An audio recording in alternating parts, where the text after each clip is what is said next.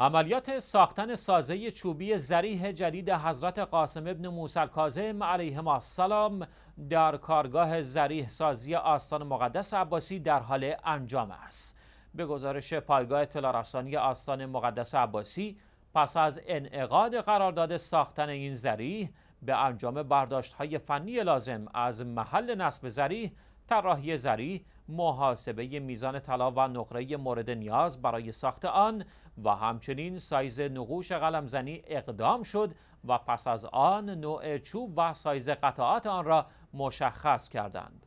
چوب بکار رفته در ساختن این زری از جنس چوب ساج برمه است که از مقاومتی بالا در برابر ضربه، فشار و رطوبت برخوردار است و همچنین در برابر موریان مقاومتی بالا دارد. روش بکار رفته در ساخت این زریح دقیقا همان شیوه بکار رفته در ساخت زریح جدید حرم متحر عباسی است و مراحل ساخت اجزای فلزی این زریح نیز به موازات اعمال درودگری ادامه دارد.